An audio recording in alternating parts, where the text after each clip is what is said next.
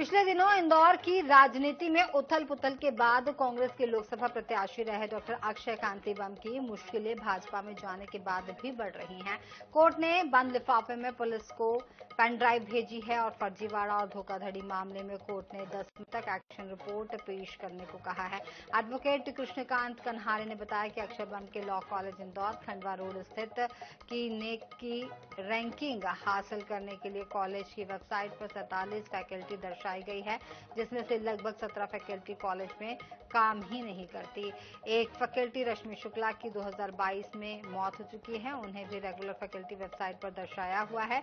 ऐसा ही एक और फैकल्टी है जो इंदौर से बाहर काम कर रही है। उन्हें भी कॉलेज में रेगुलर दर्शाया गया है। ऐसी सत्रह फैकल्टीज हैं जिनको लेकर के शिकायत की गई है। जाँच के लिए जिला कोर्ट ने पेन ड्राइव बंद लिफाफे में पुलिस को सौंप दी है। इस पूरे मामले में ईओडब्ल्यू को भी शिकायत की गई है।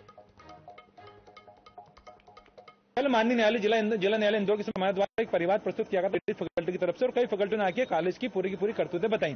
जिसके बाद कोर्ट में हमारे द्वारा जो परिवार फैकल्ट प्रस्तुत किया, वो डॉक्टर अक्षय कांतिमम, चेयरमैन, साथ में ही जो इसमें प्राचार्य विनोद पाटीदार सहित जो डायरेक्टर है क्या? मनप्रीत राजपाल सहित एचओडी एचआर के विरुद्ध प्रस्तुत करा था। इन सब चीज़ को देखते हुए कोर्ट में हमने एक पेंडेव भी पेश करी, वो पेंडेव के अंदर कई सबूत हैं उक्त कॉलेज प्रबंधन के विरुद्ध। इन सब चीज़ों की कोर्ट ने मामले की गंभीरता को देखते हुए पुलिस ने इसमें क्या एक्शन लिया, उस एक्शन टेकन रिपोर्ट को बुलाया है और उसके लिए आगामी तारीख दस मई दो नियत करिए और साथ में उस पेनड्राइव का एक सेट पुलिस को पहुँचाया।